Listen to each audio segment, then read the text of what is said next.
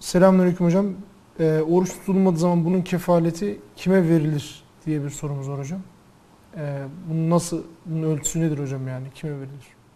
Oruç tutulmadığı zaman fidyesi. Fidyenin Kefaret farklı. kefaletini. Kefaret nedir? Kefaret Ramazan-ı Şerif. Kefalet hocam. Kefa, kefalet. Ee, şimdi oruç tutulamadığı zaman bunun yerine fidye veriliyor. Kaç gün tutulmamışsa hesap edilecek. Hastalıktan dolayı tutulamayan oruçlar.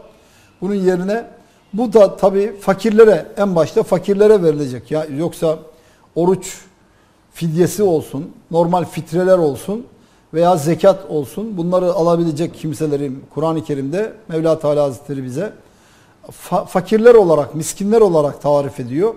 Zekatın da verileceği, sadakaların da, hayırların da yapılabileceği, fidyenin de, fitrenin de vereceği kimseler onlardır. Fa- fakir kimdir? Fakir e, 80 gram altın miktarınca değeri de veya değerinde parası olmayan parası varsa da borcu fazla olup borcu para var ama borcu da var. Borcunu ve verdiği zaman, borcunu çıktığı zaman o para kalmayacak kimseler. Bunlar fakirler zümresine girer. Bu kimselere zekat verilir.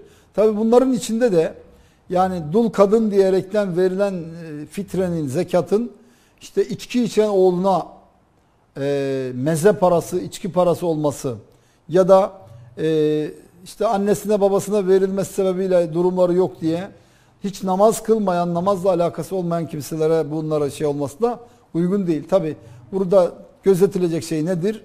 İslam'ı güzel yaşayan, ondan sonra namazını kılan, orucunu tutan ve gerçekten o fitrelere layık olan kimselere fitrelerin de, fidyelerin verilmesi lazımdır. Bunlar da en başta e, akıl bali olmuş ilim talebeleridir. talebeleridir. Yani e, Kur'an-ı Kerim'i ezberleyen hafız öğrencilere, talebelere e, ve medreselerde okuyan, özellikle gurbetçi, yatılı kalan ve gerçekten o fitrelere, fidyelere ihtiyaç duyan, onlara bir bayram haçlığı, sevincini yaşatacak, o bayramı gerçekten neşe ve huzurla ya da Ramazan-ı Şerif'i gerçekten feyizle, bereketle ve kalplerini ı, sevindirecek şekilde idrak etmelerine sebep olacak kişilere, öğrencilere, talebelere verilmesi de en uygun olan yerdir inşallah.